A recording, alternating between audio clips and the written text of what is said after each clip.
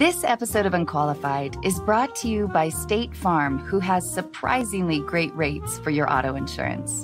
In 1999, my mom recorded me in our family room delivering the lines for what I thought was a horror movie.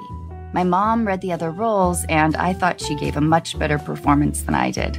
There was even a moment when I seriously considered not sending the tape because that would require a trip to the post office and an entire day's salary for postage.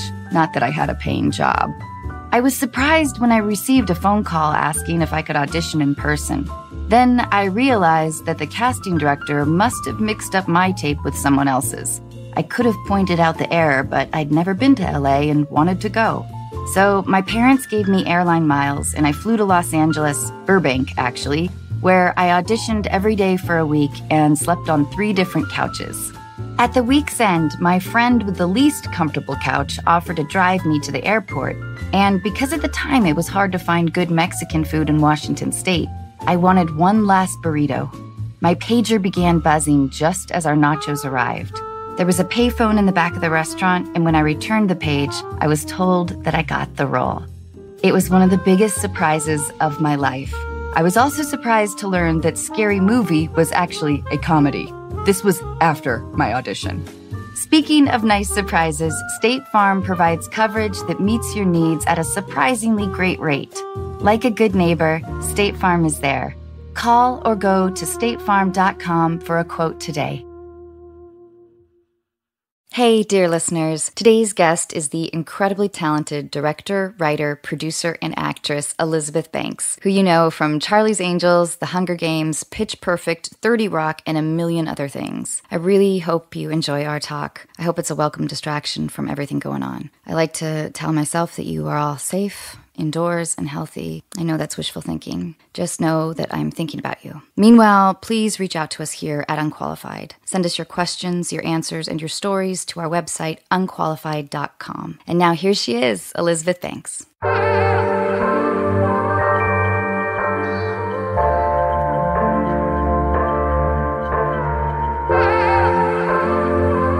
Ladies and gentlemen, you are listening to Unqualified with your host, Anna Faris.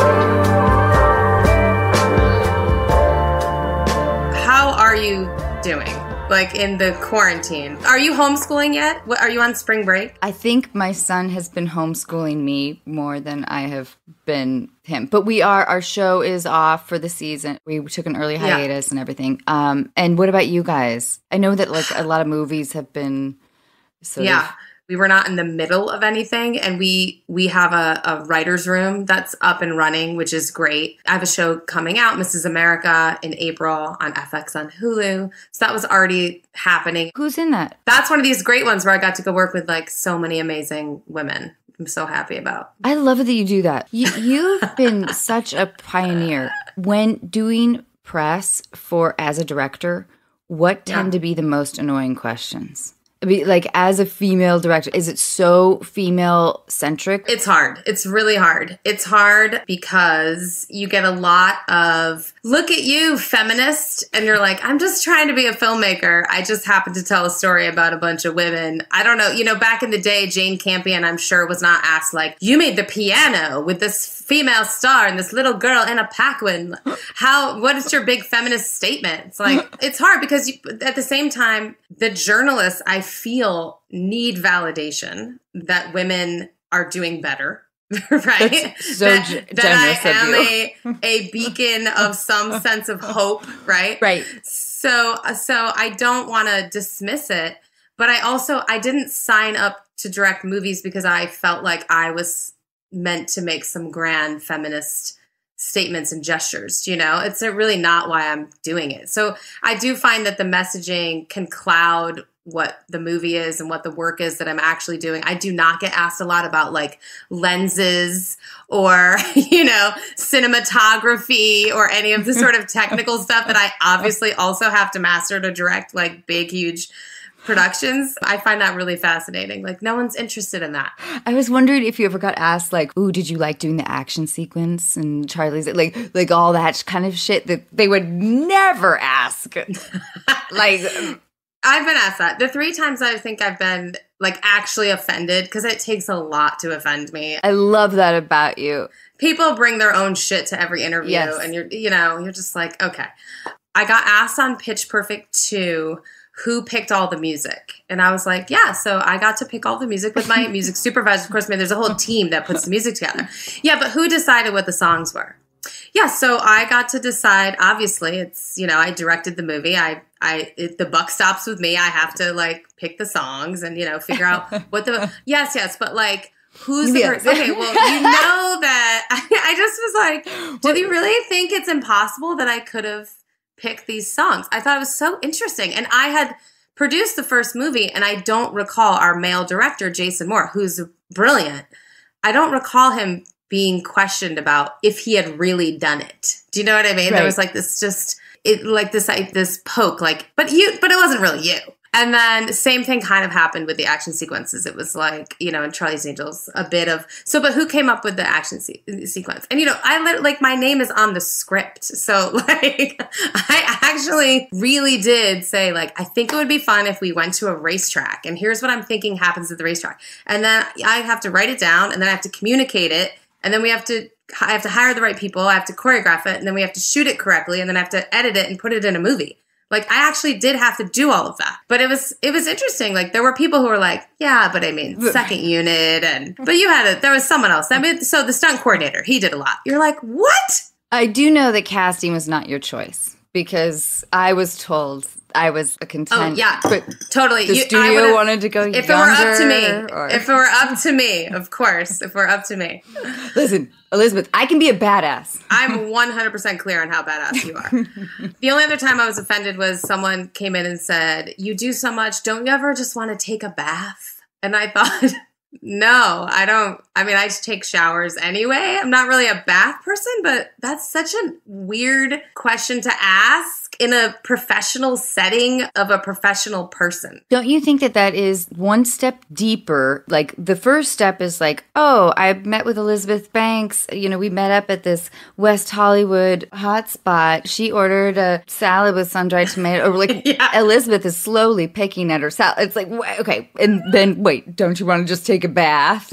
I mean, eh. Salads and baths. But I will also say that I am grateful that I get interviewed about anything at all. I'm grateful I get to make things and that I get to tell people about it. And at the end of the day, I know. And I wonder too, though, if we are, are we supposed to be feeling more grateful? But because of people like you, people get opportunities. And thank you so much for being a trailblazer. oh my goodness. You know, one of the things for me that came out of Me Too a little bit was I did feel a real sense of camaraderie with the women in my industry that I had not really felt before. There was all these sort of unspoken anecdotes and, you know, the idea of like you go to a set and you're the only woman. I, I've rarely made movies where I'm an actor. I've now, as a producer and a director, been able to make movies with lots of women. But prior to that, prior to me doing it, the amount of times I went to a set with like a bunch of girls, that never happened. Never. And if there is another girl, we're pitted against each other character wise, usually. So completely yeah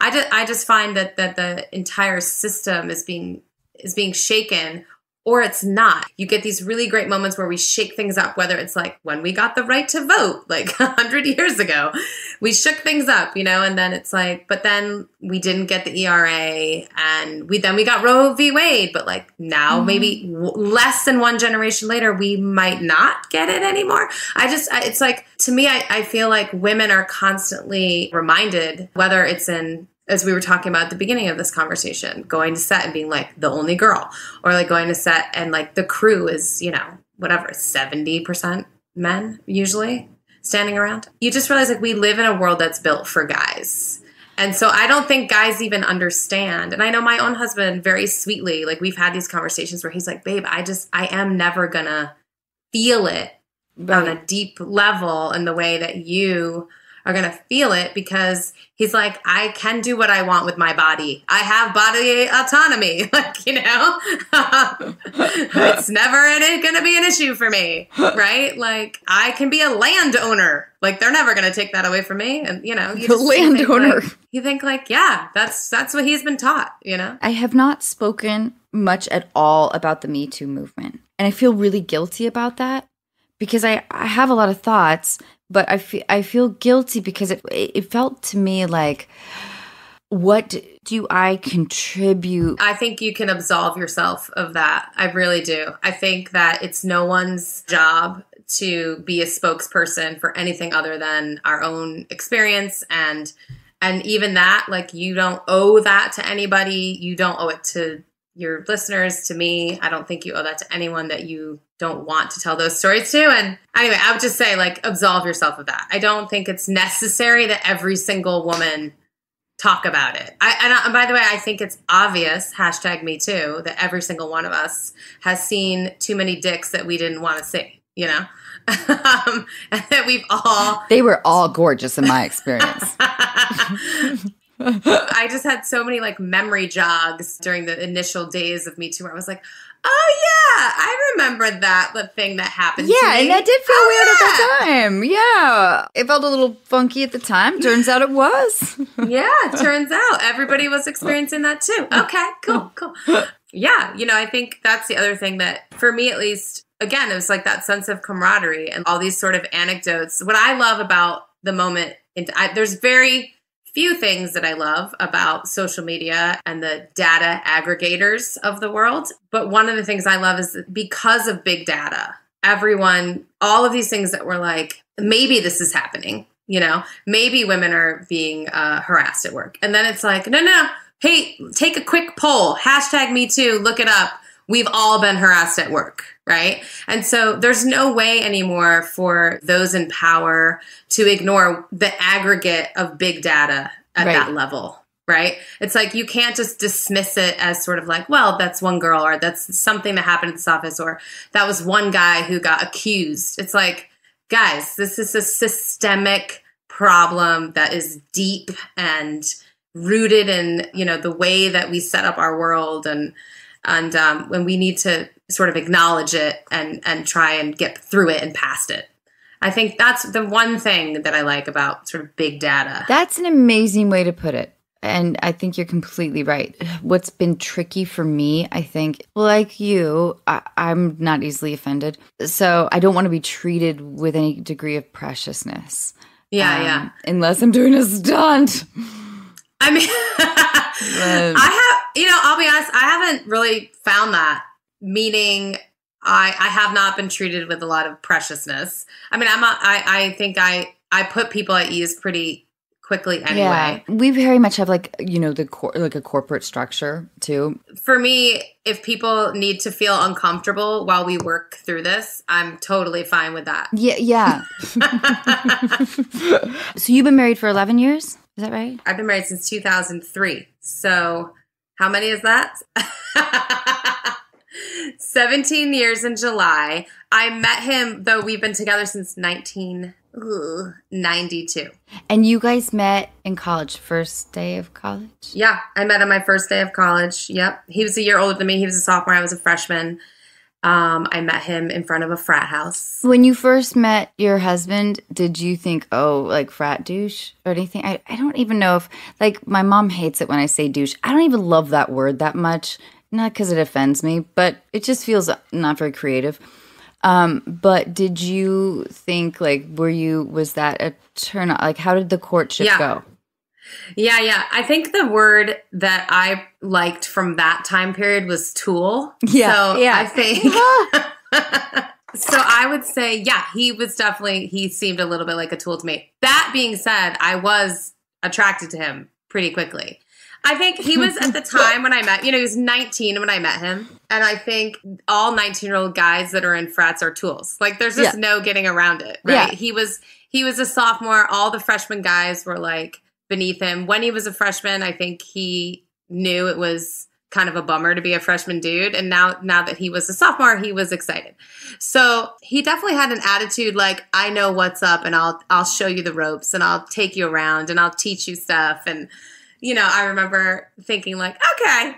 I know. I love your smile right now because it so seems like you had this on lockdown and you're like, oh, you fool. You're not wrong. He was actually he. We joke because he was really interested in this other girl, Kate. She was a twin. I think she was in the nursing school. She was the nicest girl. Had an amazing voice, like a deep, cool voice. It was a great girl. I don't think was ever actually interested in my now husband, um, but he was definitely interested in her.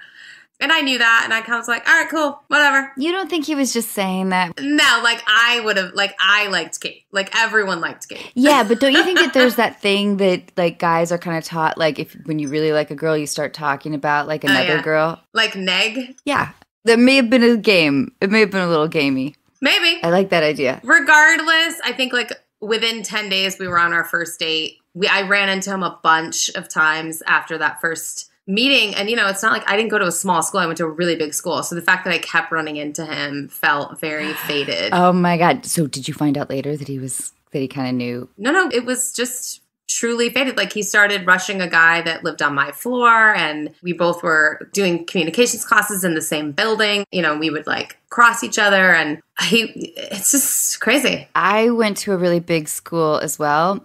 Uh, You went to University of Pennsylvania, is that right? Yeah. I went to University of Washington, and I kept running into my ex boyfriend all the time as well. But that was because I was stalking him. you know, like I had quickly memorized his class schedule, and I would be like, "Oh, hey." So, oh, that's crazy. So, how are things going? Like, I actually I had a boyfriend at the time when I went. Well, I had a high school boyfriend. Um, his name was Brian. He was the best. He taught me so much about love, and you know, I lost my virginity to him, and he was a sweetheart. He had a great family. Elizabeth, nobody has this story. I know, I know. I had like the best high school boyfriend, the so, best. what happens then? And so we we were drifting. I think neither one of us were like interested in doing long distance, particularly. Me, I can admit I was less interested in that than probably he was. He went away to school in the summer before I did, like a month before I did. And um, so by the time I got to school, I was already like, all right, I want to be a little bit of a player. I've done my high school boyfriend. I'm ready to rock and roll. I met my husband day one. And then I, but I was still getting calls from my ex, right? Who was at a different school. And we kind of broke up. It sucked. I actually went and visited him on this one weekend. I took a bus ride out there to see him, like a Greyhound bus, where I was like, all right, this is the weekend. We're So breaking you're, up. you're going to tell him, like, We're doing it. It was clear. We both knew it. I went, I met some of his friends. It was great. We did break up and everything that that entails happened. Um, and then, and then he started dating another girl who he dated for a long time. Like we were just, we were right for each other. And he has a lovely life now and still has a great family and all those things. So it was, it was great. I love it that you took a greyhound to break up. I called my first husband over the phone.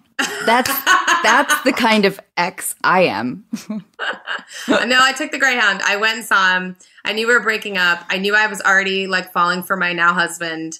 I was so hungover on the bus ride. My husband had gotten me so wasted the night before. He had also given me a hickey. Nice. Oh, He had marked his territory. So I took a hickey to see my high school boyfriend. He's going to hear this. And I, I hope he does because I, I truly I adore him. what still was to his this day. name again? Brian. His name is Brian. Hi, Brian. Um, I hope you hear this. I think he will. I, what, like, how healthy is that? And it's annoyingly healthy, Elizabeth. I mean, no, it's We were- wonderful. I'm telling you, I had a great, I had a really great high school boyfriend. Yeah, well raised. Have you been heartbroken before? Well, he broke up with me. We'd been dating. I think I actually remember we'd been dating for 22 months because his high school number was 22, and I made him like a Jello cake in a 22. And I brought it over, and his parents, I think, freaked out that we had been dating for 22 months, which is a long time, two years in high school. And then the next thing I knew, he, he had broken up with me. And I, I've never cried harder in my entire life, actually, than that. And then we got back together. Of course, because that's what you gotta do. we got back eh. together. Don't you think there's like that slow timeline of like, especially when you're dating somebody at that age, there's like the breakup and then getting back together for like a couple months and then another breakup and then getting back together for an even shorter period of time and then another breakup and it's all dramatic and your friends have to listen to it. And it's like this slow weaning of your first, like that dizziness of you know, narcissistic young love, I guess. Uh, totally. And also that it's the most important thing in the world to you at that time. There's Yeah. nothing else, you know, you can't see the future. You can't see past like two days, I feel like, when you're that age. I went to college for my boyfriend at that time, and then he broke up with me two weeks in after he joined a fraternity. And so then the stalking commenced. but the thing is, is that I knew that I didn't like a lot of things about him. You know, I, there were so many things that I didn't, I just didn't like. I didn't like his sense of humor. I didn't like his laugh. Ooh, those are big ones. Like he was mean. Why? What what what do you think made you want to stalk him? He was the first guy that liked me. I was a, very much a late bloomer. I didn't kiss anybody till I was 16 and that was a weird like slug in my mouth moment. so I didn't have a boyfriend till I was a senior and he was really good looking. I couldn't believe somebody that good looking liked me. I mean, I had just cut my braces off. I was uh, ready for a cute guy to like me Yeah. so it was all it was all about me you know it wasn't about it was about my identity with with that relationship as opposed to who he actually was Yeah, I yeah. really liked yeah. steven seagal like worship like ponytail and Ooh. yeah yep had all the movies could do some Wow. kicks you know Wow. Maybe he's listening too. I hope both of our high school boyfriends are listening. okay so dating deal breakers Ooh. okay if you were single he Mhm. brings his own hot sauce to restaurants Ooh. Um, I mean, here's what I think. On the first, second, third, or fourth date, that's a deal breaker. That's crazy behavior. Once I think you know him and you realize he loves spicy food, it can be something kind of cute. And then, even I would say, further into the relationship, you can start bringing a little bit with you. I do have girlfriends that have it like on a keychain, which I think is kind of cute. I bring salt sometimes. yeah, I think it's weird to lead with that. Yes, Like, I wouldn't start with there. I do. I mean, that's a tricky one because it all depends on how charming that person is. Because what if he like made his own hot sauce and he really wanted to try it? I don't know. Well, that's yeah. Okay, uh, his best friend is an 18 year old. How old is he? Uh, let's say he's 36. No, that's an absolute deal, deal breaker. what is this? Kato Kaelin living in the back? No, this is not allowed. That's not allowed. You cannot. Your best friend cannot be that much younger than you. Yeah, yeah. Because then you're. I still don't understand what that relationship looks like. Like, are they? If they're doing things for you, then they're like your assistant. If they're, do you know what I mean? Like, I know people that are like friends with their trainer, and I'm like, but you're paying that person. Like, that's not that. You can be friends with people that you pay money to, 100. percent But I, I don't think you can say like that's my best friend. I don't know. That feels that's a weird line. To Yeah, yeah, it's weird. I think so too. what about if he was a priest in his early 20s? Well, wait, a priest. You can't date priests. That was like the entire storyline on the last season of Fleabag. Retired, though. Retired. Oh, well then, so no longer a priest. So realized he wants to get laid and have Yeah. fun with women Yeah, or whatever. yeah. Then fine. Yeah, sure. All right. Retired priest. Great. I actually think they they probably have a lot of wisdom. This episode of Unqualified is brought to you in part by Best Fiends. We all know there really is only one match three style game worth playing. It's the one with an actual storyline, cool collectible characters, and non stop action packed adventure. It's the one with literally thousands of challenging puzzles to solve. And yes, I'm using the word literally correctly.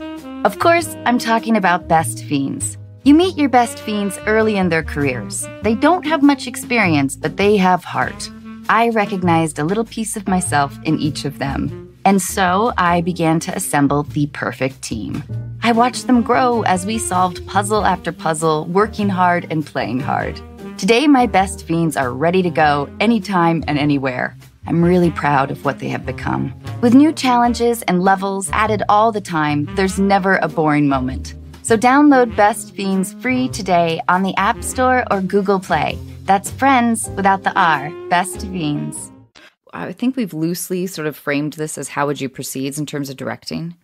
oh, okay. Um, I don't know what that means. I'm I'm so curious. Okay, curious. well, let's say so you have spent four hours setting up for a big action sequence. And right before you guys are about to roll, sun's going down, whatever. Your lead actor comes up and says, I don't know why my character would say this.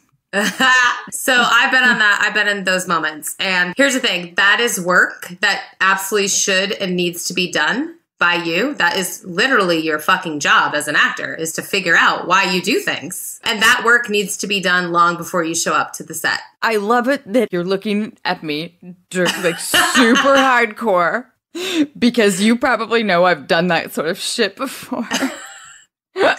Without meaning to, but it makes me fucking crazy when actors do that it makes me insane. I mean, I've been on sets, I won't name names, but I've been on sets where that exact scenario, like four hours of setup, 200 background extras are standing around. It's, you know, it's freezing out. They call everybody to set, and then suddenly the lead actor and the director need to like go to the trailer to have a mm-hmm. conversation about why he's doing something. And and the answer literally is like, because we already shot C and we already shot A, and this is literally just B, and we just need to connect A and C. It's infuriating. Like people have families to go home to. Like get your shit together, do your work before you show up to set. Okay, let's say your financier is dating this gal named Veronique, and mm. you are kind enough to give her a line. Oh. On the day of her scene, wardrobe comes up to you and says um, that Veronique does not want to wear the red dress that she'd already been fitted and tailored in, mm. and it's not her thing.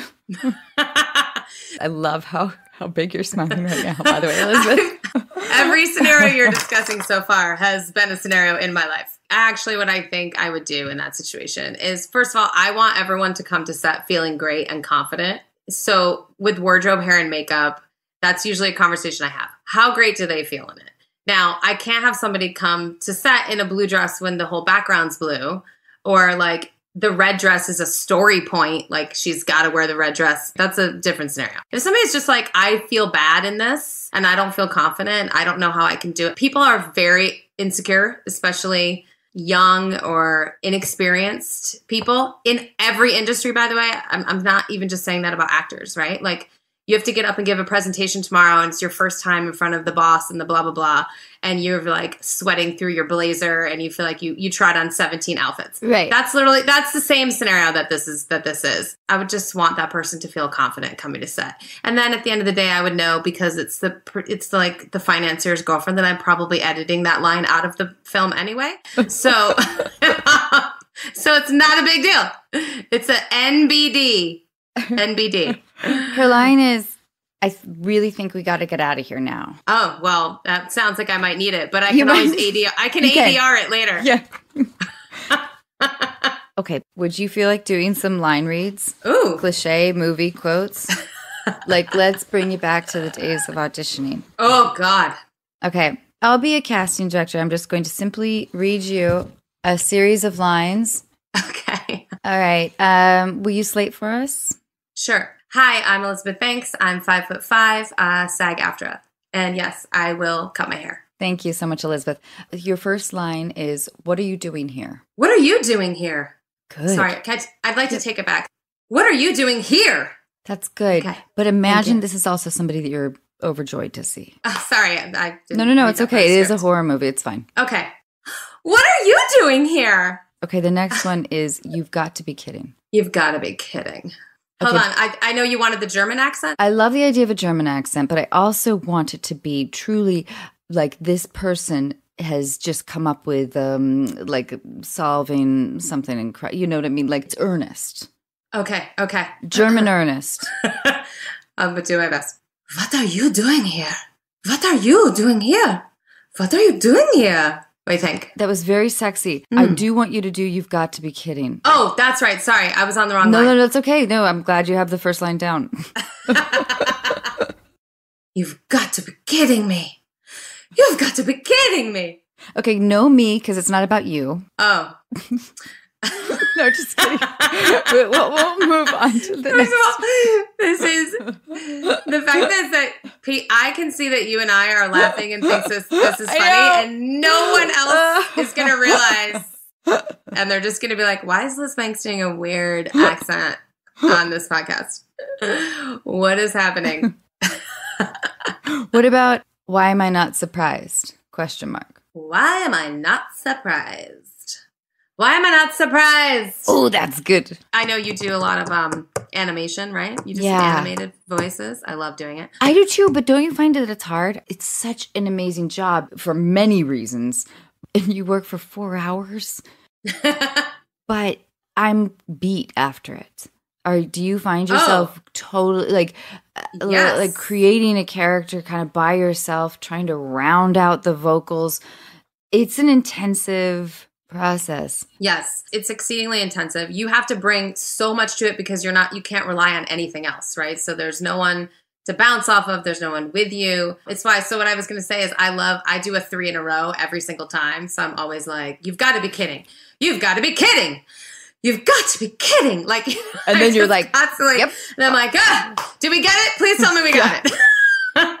I Ellen DeGeneres. Um, I- I was promoting my first animated movie, and I said basically something similar to that. Like, well, you know, it was she was like, "How was it?" And I was like, "You know, I know everyone talks about what an amazing job it is, and it is, but it was also more difficult than I thought." And she said, "Well, it's not like you're digging ditches." And I, in Yeah. my memory, the audience stood up and clapped. Like that's what happened in my memory in that moment. Like, where do I go? Aw. Like, of course, it's like an amazing job, and I'm not digging ditches. Yeah. But that implies though that we can never talk about what we do and I think that's a bummer. I know you're right. You're right. That's an interesting way to put it because there is the, that feeling of, especially during this time too. There's this feeling of like we're so fortunate to have a bunch of you know canned chili and Yeah. pasta in our pantry and toilet paper. Although we're running pretty low on the paper towel situation. We we just ordered uh, bamboo uh, toilet paper because it was the only Ooh. thing we could order. I don't know. I haven't touched it. I, everything that comes to the house, I I pretend is like radioactive, and it has to stay in the garage for like a week yeah, because that's what we're. That's how why I'm crazy today. I know. I know. Um, okay, wait. So then I wanted to ask you too. The oh, if there was like a if you had a young like eighteen year old uh sensitive ingenue who has been late hmm every day for the first week of shooting, like how how do you deal with that? Like as a leader. Because when I did House Bunny, I mean, I wasn't directing it or anything, but I did have a pretty sweet trailer, Elizabeth. I mean, I'm No, not going to get that trailer again. I have no doubt you were number one on the call sheet, and number one on the call sheet is a really important role on a on a set. It's like it's it sets the tone for the entire film set. How would you deal with that kind of scenario? I'm sure you've had to deal with the managing of sensitive personalities like all across the board, right? Yeah, I, I think communication is what you try to do. Would you pull that person aside? Like how how Yeah, uh, private, of course. I mean, I usually try and bring a producer or someone else into the conversation so it doesn't feel unless that would feel like it's a gang up because I think that's never good either. But I think being able to like try and meet that person where they are, it's almost always an insecurity. It's almost always something's going on you're so right. that is not about the movie. It's some personal insecurity that's going on, or like, you know, I've not been in a situation where someone's being harassed or like they don't want to come to set for their safety or anything like that. It's almost always some something in their heart or their brain and they just can't get past it. And I'm not a therapist, so it's really hard to get them past things like that, right? It's like you're just trying to coax them to get the job done that day. And and hope that you're helping them a little, you know, that you're bucking them up at the same time. There was an actress that was consistently late and I lost it. At first I'd given her a couple gentle nudges, um, like what can we do to make sure, you know, like you need to make sure that this is part of what we do is as we enter adulthood. Yeah, yeah. Be As on you, uh, time. have a professional job that you're getting paid for and cashing a check. So if you're cashing the check, you should probably come. But then it was like seven in the morning. I've been there since like five thirty, getting like sewn into my costume or whatever. And this person was late again, and I just I became an animal. And then her parents came to work, and like it was like shit. I did not handle that well, but I was so mad, and and it was later in the shoot too, so I was particularly hungry. You know how you yeah, kind of yeah, get yeah. like oh my god, you're starving all the time. Yeah. No, and you felt and you felt disrespected. Here's what I find too. I find that people who've had real jobs that are not acting jobs have a better understanding, right, of like the responsibility that we all have in like it's not your show. Even Right. if it is your show. Like I you know, even if you are number 1 on the call sheet, there's an entire group of people around you waiting on you that want to go home to their wife and kids or their husband and kids or their dog or whatever. Everybody should be in the service industry Totally. during a period of time in their life. Like it's I- just good. It's just good growth. It's good empathy. You know. Yes, I totally agree. I totally agree. And also, you know, and you and you it it teaches you so many things. It teaches you empathy and it teaches you service, of course, but it also teaches you um, how to stand up for yourself in the right way versus the way that gets you fired. Like, you know, Right. and Right. Think- Right. Because the other thing that happens here is I think people feel like, well, they shot me, so they can't fire me, and then they act like a total asshole. That drives me completely insane. That sounds like a good story. well, you know, there's just a sense of that sort of entitlement. Like, well, it's my name above the, you know, whatever. And I, I just find I've had amazing working experiences with big, big, lovely actors who are know to treat the cast and crew and everyone's time respectfully. And of course, those are the much better experiences. You must be just such a dream to work with. I, I have mm. no idea. I let others. I'll let others speak to that. But I am very professional. I'll put it that way. Like I, I went to drama school. I, you know, I went. I had a lot of jobs before I started doing this, and I treat it, you know, in that way, like respectfully. Like I'm, I'm there. I want that from everyone else. So I'm very like golden rule, you know, about the whole thing. Okay, now here are some life questions. You can answer them rapidly or not. Okay. What is your greatest fear? Oh, I, I won't even say it out loud. That's how great my fear is. Gotcha. But okay. it involves it. Yes, I literally won't say it out loud. gotcha. Probably involves death. That's yeah, sure. I'll, I'll give you that one. Yep. All right.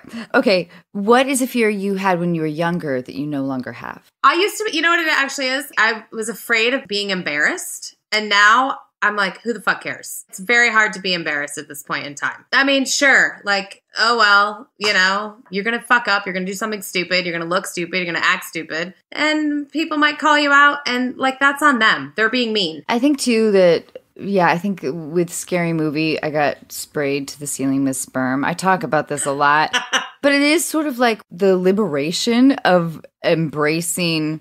Like I'm gonna do stupid shit, and I Yeah. also get paid for doing really embarrassing stuff sometimes. I just find like, even if I shit myself in public at this point in time, I'd be like, I mean, that's crazy, right, guys? it happens, you know, it can happen to anybody. Like you, you get a little hungover and have a couple lattes, like yeah, you, like, you you can't do? get out of the cab while it's moving. I mean, what are you supposed to do? Okay, what is your favorite sick rainy day movie? Ooh, I um, I have a lot. I recently watched Runaway Bride. I don't know why I'm laughing. It's like the least good Julia Roberts Richard Gere movie. It's but it's completely misogynistic too, and yet. I was like, these motherfuckers are so charming together. My God, it's fun to watch chemistry on screen. And like, I got a little titter. So maybe that one if I'm alone in a room. All right. I can't get my husband or kids to watch that with me though. to whom would you most like to apologize and why? That's a really good question. I actually sort of went through this for myself in sort of working on myself a, a few years ago.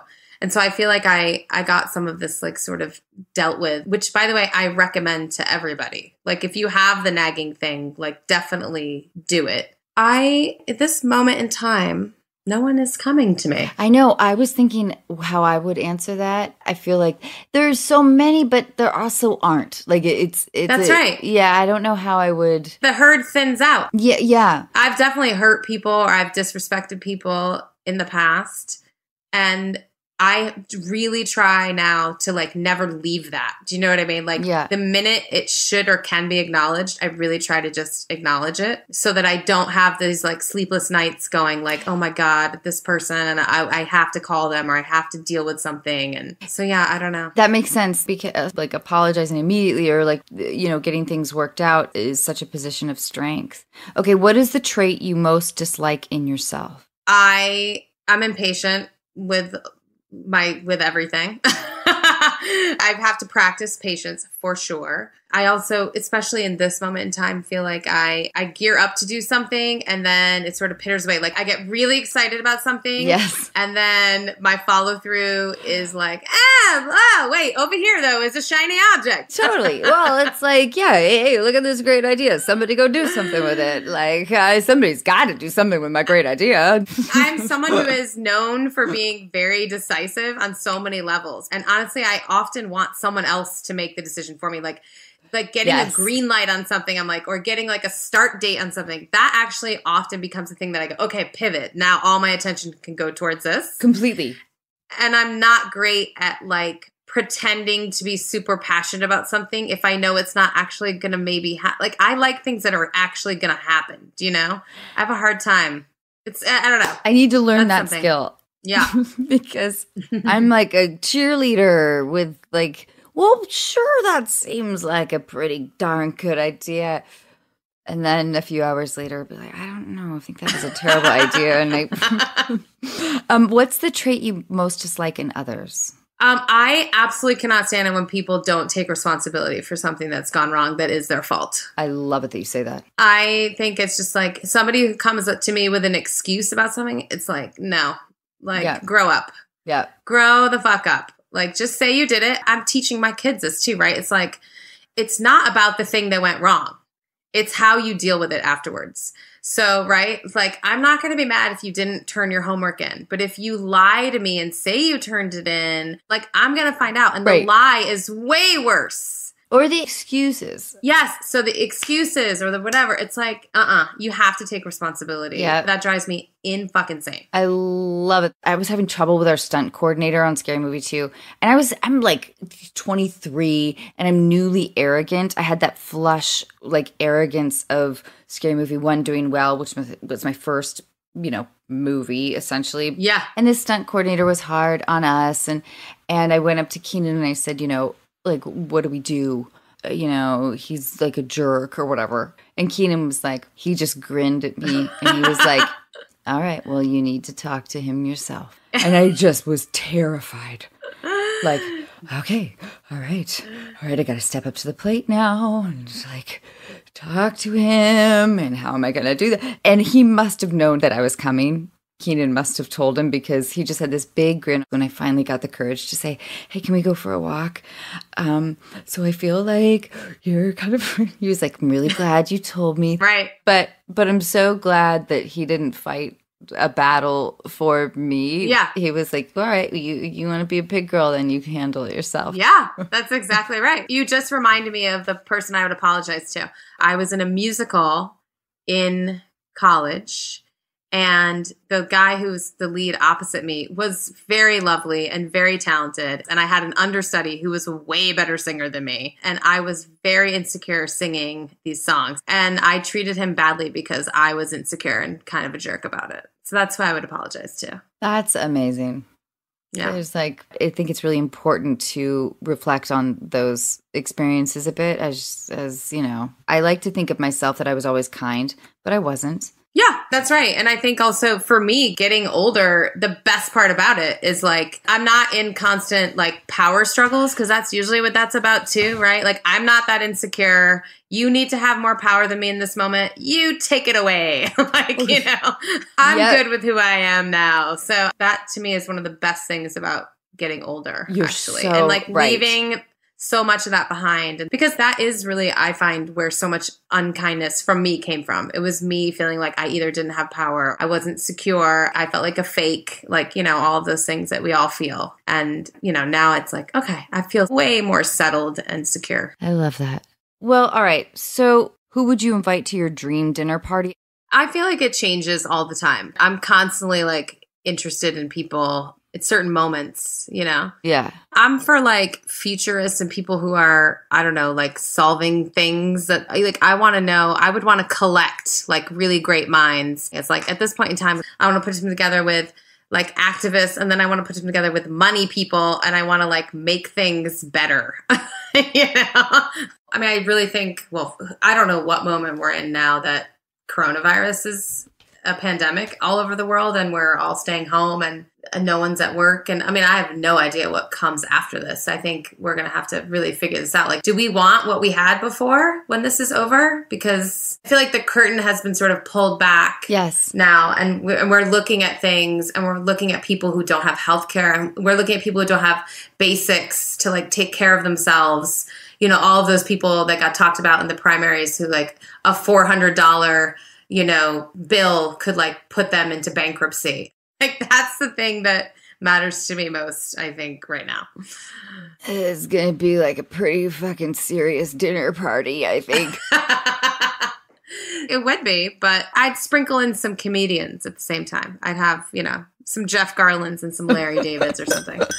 In one word, how would you like to be remembered? Mom. Oh, that was oddly immediate and wonderful and beautiful. I mean, Oh, I don't I don't think there'll be anything more important. I don't know. I'm 9 years I mean, have into you really thought about it? it. I mean, maybe grandma. I, ho- I hope I get to be a grandma. I hope I'm around. I hope the earth's around. I, you know, who the hell knows what's happening. This episode is brought to you in part by Plant Botanical. As everyone slowly comes out of hiding, many of you are asking the same questions. Am I ready for actual human contact? Should I swipe right? Will they look like their picture? Do I look like my picture? Is that the face of an axe murderer? Do I really want to take off these sweats? And for those of you who get that far, what drink should I be casually sipping? I have the answer to that one. While your date sits awkwardly silent, stunned by your good looks, dazzled by your intellect, or wondering how to dispose of your body, the drink in your hand should be delicious, refreshing, crisp, clean, plant botanical vodka seltzer. Weighing in at only one carb, made with real fruit and botanicals traditionally used for stamina, immunity, and detox, Plant Botanical is already thinking about your future encounters. Follow and DM at Plant Loves You and share a story or video of your funniest, wildest, or most awkward date for a chance to win up to $1,000 for your next one. Plant Botanical, your perfect companion while you look for your perfect companion. Available at Target, Pavilions, Vons, Total Wine, or visit plantlovesyou.com to find a store near you. Plant vodka and vodka seltzer. Just the good shit.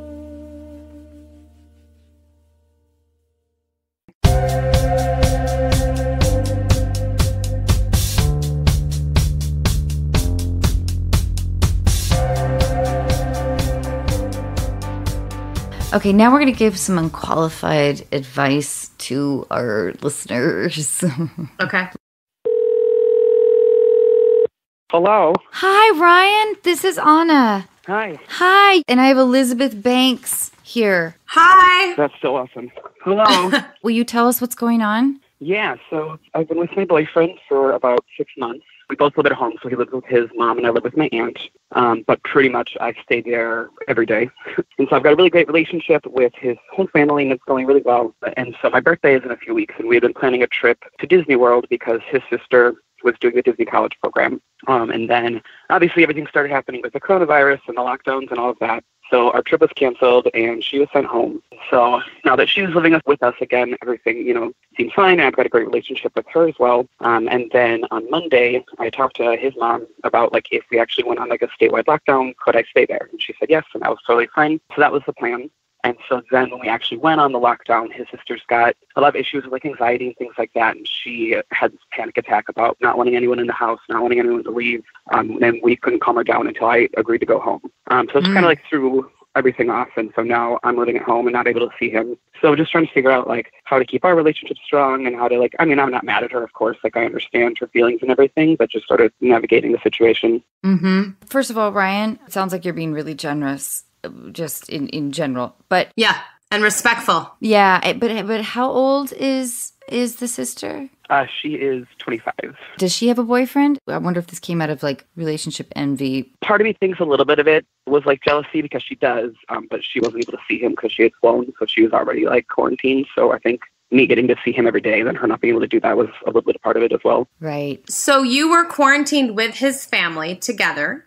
You guys were hanging out. Yes. The sister was there. She had a panic attack. Mm-hmm. Were you guys leaving the house? Like, what was her panic attack actually about? That you guys were bringing COVID 19 into the house or what? So he is currently laid off of work, and I'm working from home now. But that day was the last day that I, was, I had to go into the office and come back. Right. So I was gone when it happened, and then they made the announcement. So, if you guys, now that you're on your lockdown, if you guys just do like a nice 14 day apart and you guys all promise like not go to work and not see other people, can't you just go back over there in a couple weeks and be like, hey, I haven't seen anybody. I've spent my time at home and now I'm here with you? I guess it really just depends on like how she reacts to it, because she, I mean, like he wanted to go to the store and she like freaked out. Yeah, here's what I think. I mean, you know, she worked at Disneyland. Like they shut down Disneyland for the first time. Like this is stressful for Yeah. so many people on so many levels. And I know you're at the beginning of a relationship, so it's tough because you guys want to hang out, and I bet you want to do even more than hanging out because I've been in the beginning of relationships, so I know how they go.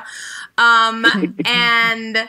I think you guys got to be really generous and respectful with her right now because it sounds to me like she's just having massive anxiety, which I know so many people are because people are really freaked out by this virus Yeah. and what's going on. And we feel like misinformed and we don't know what the hell's happening. And I, I get that. So I don't know. I think you got to like Zoom with the boyfriend. hmm Can he come live with you and your aunt? So we had talked about that too, but that was part of her whole thing. It's like I don't want anyone to leave the house. I don't want anyone to. So in order to get her to chill, we just agreed to doing it this way. And I know he's pretty upset with her. They're really close outside of this, Yeah. and I'm trying to just like not make this be a problem once the month is over. You know, not like strain any of our relationships. Yeah, yeah, yeah. I think that's smart for the long term. I get what you're saying. You want to make sure that you don't become a wedge between the two of them because that could maybe not go your way in the future. Yeah, exactly. And Ryan, I have to hand it to you. I think the way that you are sort of describing her like it's really mature of you that you're that you phrase all of this like you know she's prone to anxiety and her life is like you know been upended and that's really remarkable that you phrased everything in your email with a lot of generosity i don't know if i would have done the same thing. I would have been like "Ah," but good for you. Can I ask one like kind of controversial question? hmm Is there any way that the sister threw this fit at the behest of her brother because he actually thought maybe it was moving too fast and he didn't want to live with you during the quarantine? I really don't think so. I think he's been a lot more upset about this than I even have been. Oh, so you- That's good to know. I got you. Yeah, so, yeah. Because you know how in relationships, like when one person is really upset, the other person tends to counterbalance. Yeah. So if he's really upset, maybe it can make you a little bit of like a stable anchor. Yeah. Sounds like that is what's happening. Yeah, hmm Ryan, I am sorry, but I love it that you're in love. Yay! I know that's amazing. So I'm happy that you found somebody, and yes, I know it's so hard. hmm It's hard to be a human being right now in general. But I will say, I think if you guys make it through this, it's going to mean a lot in the future going forward. And by the way, this will be like the beginning. Remember when we ha- had to be all quarantined? Ha ha ha. Let's hope we're all telling that story 30 years from now at your like anniversary party. I will say though, the last thing that happened the night before I had to move out, I realized he had never seen House Bunny, so it's the last thing we watched. so I'm very glad about that. Oh, Ryan, that's really sweet. Thank you, Ryan. hey, Ryan, I think you you've handled this very, very maturely. I really do. I think a lot of other people would have just, you know, matched her anxiety level. Yeah, thank you guys so much. Good luck. oh, Good luck, thanks, Ryan. Ryan. Thank you. Bye, Ryan. Thank you. Bye.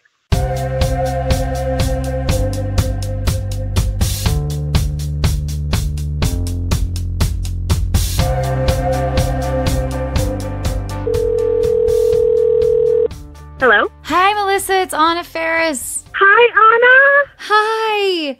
Um, I'm here with Elizabeth Banks. Hi, Melissa. Hi, Elizabeth. Oh my gosh. How are you doing? Are you are you guys on lockdown? Well, I um, have been deemed essential for whatever reason. Oh, So I'm still going to work, but my children are home right now until April 24th is the new date. oh my goodness. How old are your kids? I have an 11 year old and a 9 year old. Ooh. So they're kind of going crazy right now and driving me insane, but that's okay. It's part of the, the deal, you know?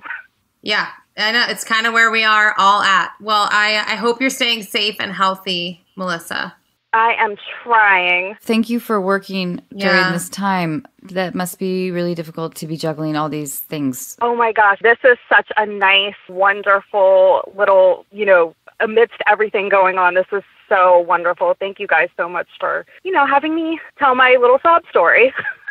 Let's hear it. Can we hear it? Well, long story short, I've been with this guy for seven years and there's still no ring. There's still no anything. And, you know, it is definitely something that I expressed that I wanted earlier on. I am divorced. I got divorced when I was 29 and we started dating about like a year and a half later.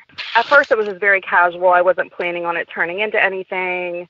And then it did. And then, you know, after some time passed, he met my kids, which was, you know, that is very hard to do. And of course, my kids love him and, and he's so amazing to my children and to me, to be fair. You know, he's a great guy. Do you guys live together? Yes. And, and that's kind of, that's kind of on the flip side of things is Where are you in the house right now, Melissa?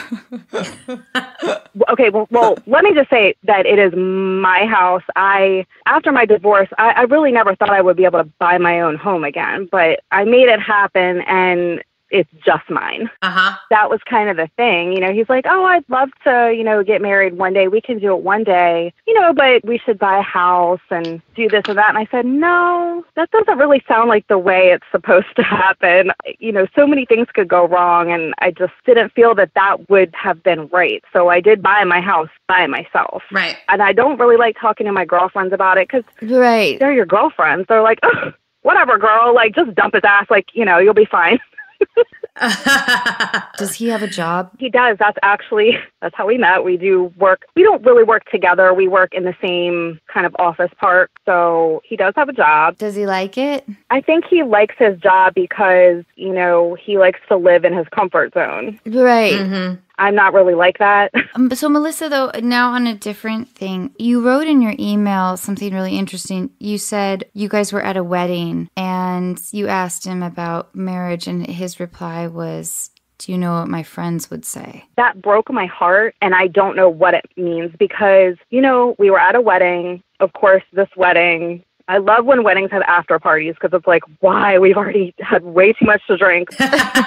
so we just we had way too much to drink. And of course i serum. said something you know about marriage. Because 'Cause you're at a hello, this wedding. is like the 11th wedding that we've been to as a just boyfriend girlfriend couple. It's freaking humiliating. And that is exactly what he said. And when i asked him what that meant he kept saying i don't know i didn't mean it and well, but this has happened so many times with like different answers. Like sometimes it'll be, oh, well, you know, I think we should buy a house first. Well, I bought a house. yeah. Oh, well, it's just a piece of paper.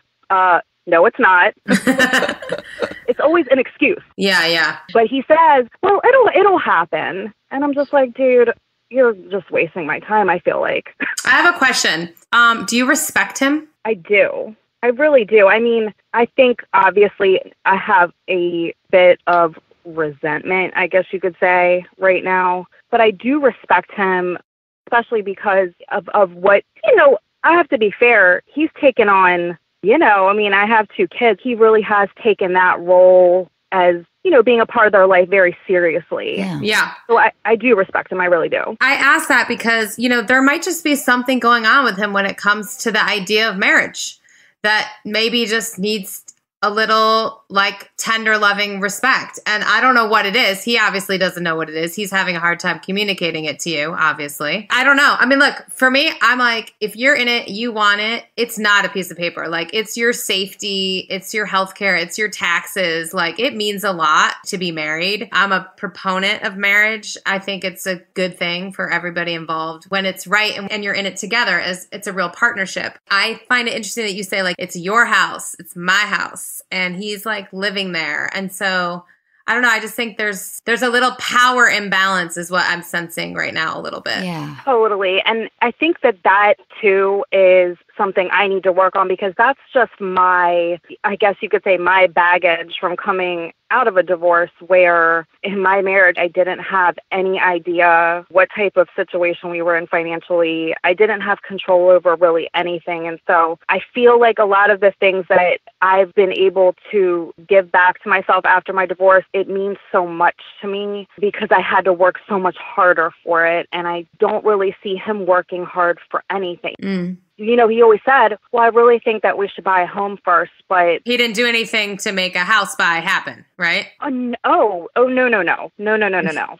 it was an idea that he had, but like most of his ideas, they never end up happening. Right. Does he pay you rent? That is kind of where the other half of the marriage thing comes in. Like, he's like, I want to pay half. I want to do this. I want to do that. And in my mind, because I'm very unhappy right now at my job and I kind of want to find another job, knowing that I'll have to start lower on the totem pole. Yeah. It'd be nice to, if we were in this marriage and it's like, okay, go ahead, you can quit your job for less, you know, we'll make it work, this and that. But for me, I'm like, well, you're just my boyfriend. I mean, you could walk out at any minute. Yeah. I also wonder, do you get external pressure to get married from your family? Oh, no, no, no. Actually, his family is kind of more on that side of things, whereas my family is very relaxed. They kind of fully support whatever it is that I want to do or don't want to do. And we've been to plenty of weddings for his side of the family. And every single time we go up to the bride and give her a hug and congratulate her, oh, when are you guys getting married? Right. Meanwhile, she just married this guy that she's only been dating for like a year and a half. Right. Yeah. I mean, it sounds like a partnership is really what you're looking for, right? So he's not, quote, paying rent. He's not helping with the mortgage, even though he lives there? Okay, so I pay the mortgage, but he basically pays everything else like on the inside of the house Okay. he does you know the whole the whole internet the cable the electricity he buys Got all of the groceries he definitely pulls his weight So that's good. That's great. That's a partnership. I guess I'm digging a little bit, trying to understand what it is about getting married that you need that you're not getting in the current setup. Because he's fathering your kids, he's paying some bills, he's going to work, he's supportive of you in, in these ways. It's like, what are you not getting besides the, the sort of piece of paper and the wedding from him that you would want? right and i think you know because this is it kind of goes back to that's sort of how he responds to it except for he just gets completely i don't want to say hostile not like violent but he gets really angry anytime it's brought up and I will tell you, it's maybe only been brought up about three times in our entire relationship of almost seven years. And I think for me, it's just like he's asking why, and I'm asking, well, why not? Yeah. Is it just me that you don't want to marry? I mean, what? Uh, I think that we have a lot of pressure to get married. You know, it's like checking something off the list. It's like our parents ask, you know what I mean? It's just out there. It's just Totally. out there. So that's one thing. So just, you know, just understand that we all go through it with varying degrees. But the other thing about his friends, does he have close guy friends or Mm. no. And so why is he worried about what his friends would say? Anna, we would have to have a whole separate other segment Oh, no. for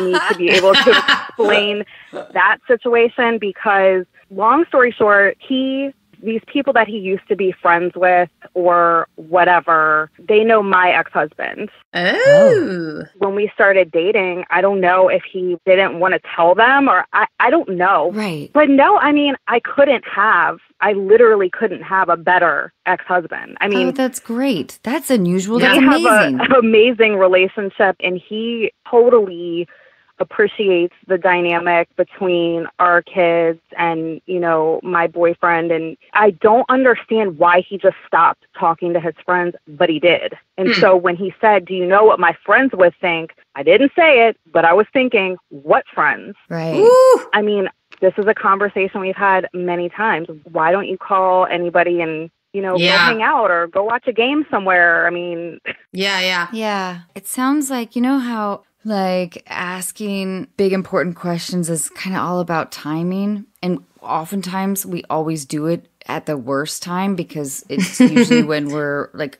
you know feeling highly emotional. But Yeah. Drunk at the wedding? yeah, yeah, but I but I oh, wonder Oh well, the last time too, I would like brought it up while we were watching the Real Housewives of New Jersey reunion, and I'm like, oh, great. she got proposed to 12 times? what?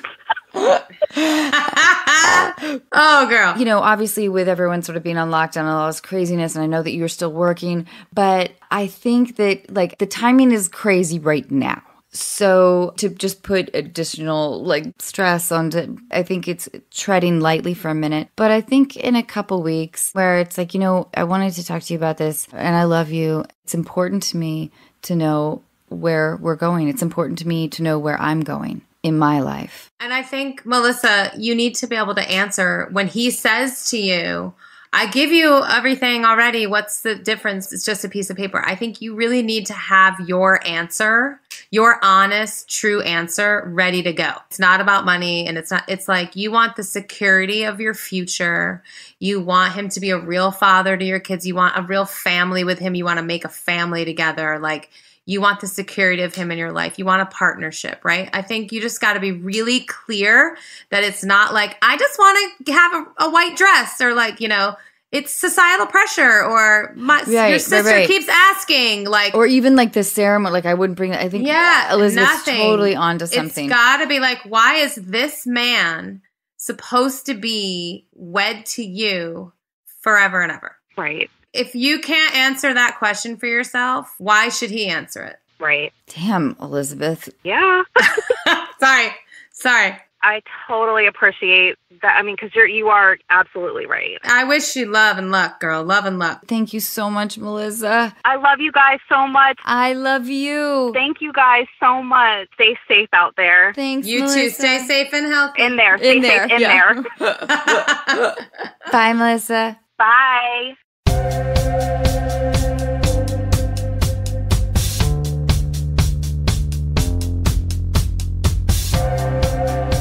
Do you have a favorite joke? My favorite jokes, and this is partially because I can't ever remember any jokes. So I committed to memory a long time ago. What used to be referred to as dumb blonde jokes, right? Listen, we're just we're just two blondes. Just talk, yeah, two blondes just, hanging out here. Yeah, my roots um, are coming in though, Elizabeth. Yeah. oh, me too, babe. Me too. So this is my favorite joke, my favorite dumb blonde joke, and I'll call them dumb blondes. They could be anything, just people who don't know what's up. So two blondes go walking in the forest, and the first one looks down and says, "Oh, look, bear tracks." And the other one says, Mm-mm, I, I think that those are deer tracks. And the first one says, Nah, they're bear tracks. And the second one says, Girl, they're definitely deer tracks. And the first one says, Bear tracks. Deer tracks, bear tracks, deer tracks, bear tracks, deer tracks. And then the train hit them. That's my favorite dumb blonde joke. hey, Elizabeth, I love you and thank you. You're you. amazing, truly. I had a great partner in this conversation, so thank you. Bye, love you. Bye.